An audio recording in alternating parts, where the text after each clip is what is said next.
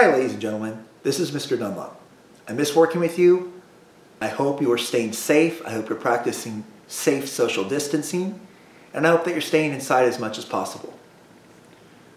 Because we can't meet at school, I'm going to be taping a series of video lessons to help you uh, improve on your musicianship, even though you are at home and can't be in my class. You can still practice. Now, if you don't have your instrument, you have to go run the school and get it. It's okay. These lessons will not be involving the instrument. Our first lesson is going to be about clefs. You play a treble clef instrument. Everybody say treble clef. Say it one more time, treble clef. Good. Now, if you remember at the beginning of the year and from recorder class, a staff has five lines. How many lines does a staff have? If you said five, you're correct. A staff also has four spaces. How many spaces does a staff have? If you said four, you're correct. Now, we need to figure out what the notes are on a treble clef staff. So first we're going to start with the line notes. What are the line notes? Anytime we want to figure out how to count the notes or figure out what the notes are, we always start from the bottom and go to the top. We go bottom to top. Everyone say that. Bottom to top. Good. So let's start with the bottom one. This is the first line. What is this line, everybody? The first line. Good. Now say, now say it with me. We're going to go first line, second line, third line, fourth line, fifth line. Everyone say it with me. First line, second line, third line, fourth line, fifth line. Good. So, the first line note is E, the second line note is G, the first line note is E, the second line note is G, the third line note is B, the fourth line note is D, and the fifth line note is F. Now let's say all of those. Ready? Go. E, G, B, D, F. Now some of you are probably thinking, how the heck am I supposed to remember all that? Here's something that will help. Everybody say, every good burger deserves fries. Say that with me. Every good burger deserves fries. One more time, go. Every good burger deserves fries. Good, now do it one time without me. Good job, ladies and gentlemen. Give yourselves a pat on the shoulder. That was good. Now, ladies and gentlemen, we're just going to say the letter. We're not going to say every good burger deserves fries anymore. We're just going to say the letter. Say the letters, ready, and go. E, G, B, D, F. Again. E, G, B, D, F. Now one time without me. Good job, ladies and gentlemen. Give yourself another pat on the shoulder. Now we're going to move on to the space notes. Everyone say space notes. Now space notes spell the word face, your body part. What note do they spell? Oh, sorry, what note? Sorry. Uh, what word do space notes spell again? Face, correct. Let's spell the word face. Ready, go. F A C E. Again. F A C E. Good. So those are the space notes. Now try that without me. One more time. Good job. Give yourselves another pat on the shoulder. Now, here is the really neat thing. You can practice staff notes at home without a staff with you. You don't need a staff. If you can buy some manuscript paper, tell your parents you really want to get manuscript paper and they can get it for you, that's great. If not, you can use your hand. Everyone hold up your hand like this. You can use this hand to practice line notes and space notes. Hold it up. You remember this from recorder class. I taught this to you in recorder class. You can use your fingers for the line notes. So everybody say your line notes with me. E, G, B, D, F. One more time without me. So those are the line notes. Now in between your fingers, those are the space notes. So everybody spell the word face. F, A, C, E. Without me now. Good. So you can use your hand to practice the line notes and space notes on the staff. Here's another really neat thing. You can practice with somebody who lives with you. Maybe they're a guardian. Maybe they're a brother or a sister. They can quiz you. They can go, what's this note? And you could say, that's B. Or they could say, what's this note? And you could say, that's C.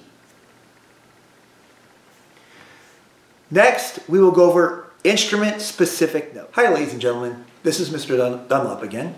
Our next lesson is going to be about notes and how to identify notes on the staff. Your instrument is either clarinet or trumpet, and I put you two together because your notes are the same. Your fingerings are different, but fingerings is a different lesson, but your notes are the same. So, in order to identify notes, one of the first things musicians need to understand how to do is identify key signature. Now, your first key signature is no sharps or flats. That's going to change, but for now, all you need to know is your key signature is no sharps or flats. So you will not need to look for your key signature in this exercise. But probably starting next year, if you continue on, which hopefully you will, you will need to understand to look for the key signature. But right now, you don't need to. Your six notes are C, D, E, F, G, and A. And right there, that's your first note. That is C. C is on the ledger line. Everybody say ledger line C. Good. Now, the next note is below the staff D. Everyone say below the staff D. So, ledger line C, below the staff D. Now your next note is going to be first line E. Everybody say first line E. Now your next note is first space F. Everyone say first space F. Now your next note is second line G. Everyone say second line G. So let's do it once. And we've done this before, so let's do it again. Ledger line C. Below the line D. First line E. First space F. Second line G. Good job. Give yourselves a pat on the shoulder. That was good. So what you're going to do now is you're going to identify the notes after I show you the process. So everybody look at this note. What you're going to do is you're going to say, is this a line note? Is this a space note? Or is this a below the line or space note?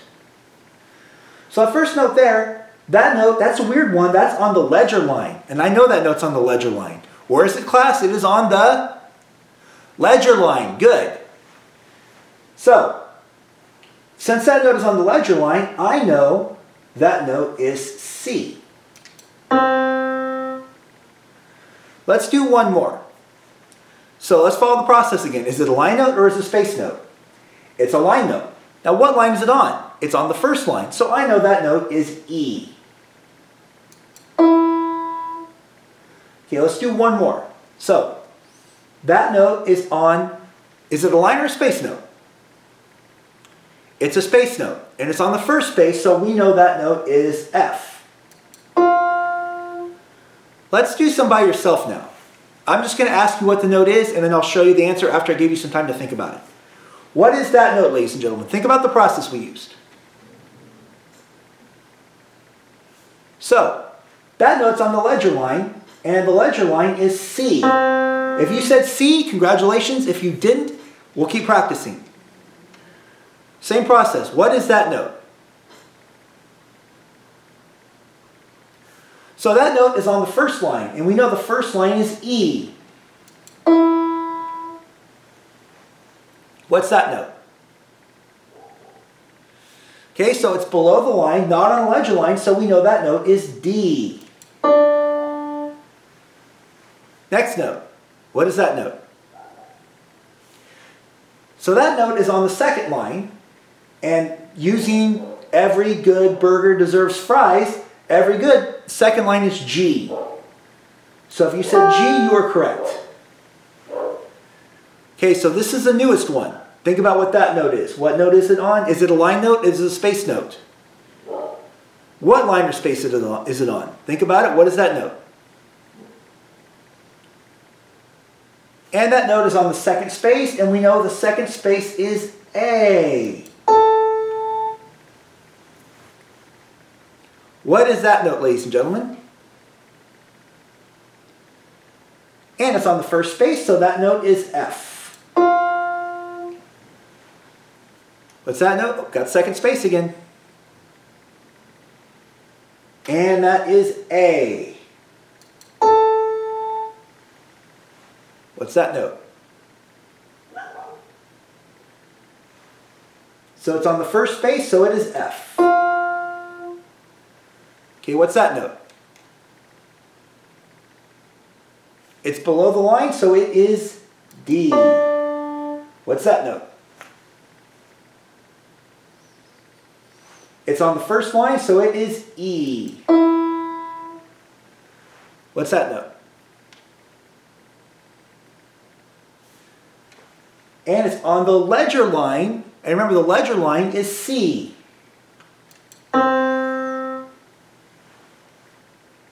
What is that note? So it's below the staff, not on the ledger line, so it is D. What is that note? It's on the first space, so that is F.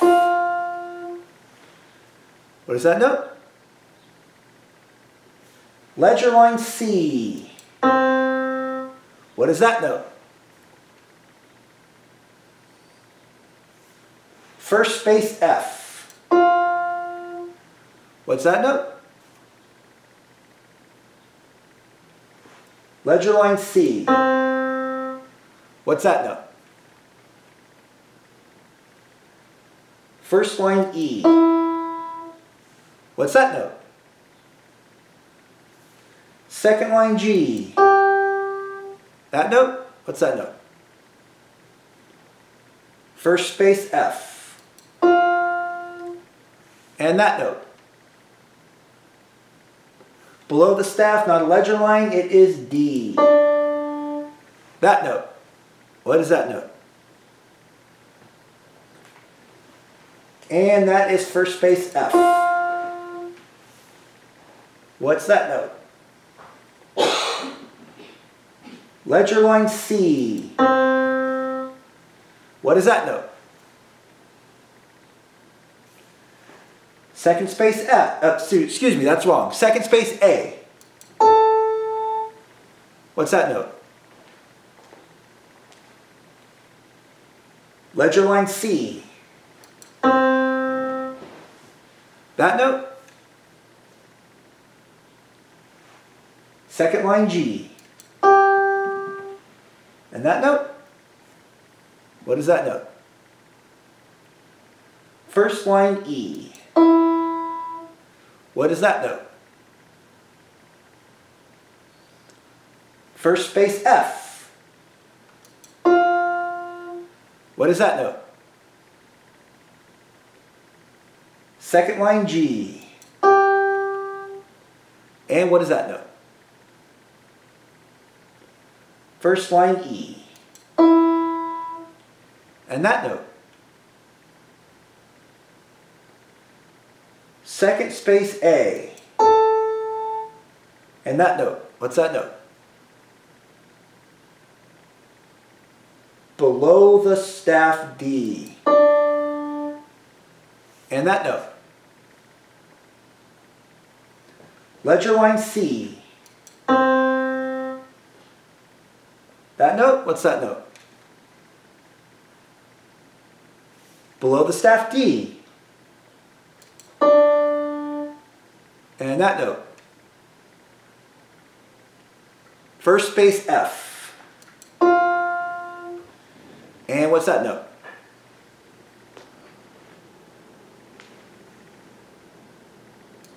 First line E. Ladies and gentlemen, if you got most of the notes or all the notes, good job. If not, you just need a little more practice, that's okay. If you want or need more practice, the link to this specific exercise is in the, the description box below. Your key signature is going to be before each note. What notes are flat in a, in a flute key signature, signature that you're learning right now. Yes. Okay, okay, okay, okay. I got, And I got this. And seeing how many of you write your notes above your, um, write the names of your notes above the notes, then um, I'm not, I'm not gonna say that. Okay, So that you can stop writing your freaking notes in your I'm just not gonna say that. I get too confused. Yeah.